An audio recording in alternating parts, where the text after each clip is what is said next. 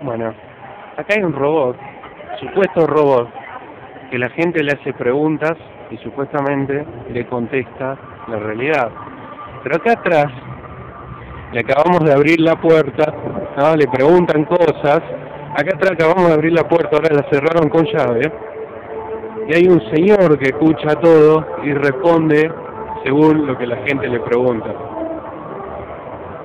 Este, así que bueno, eh, el modelo, ¿no?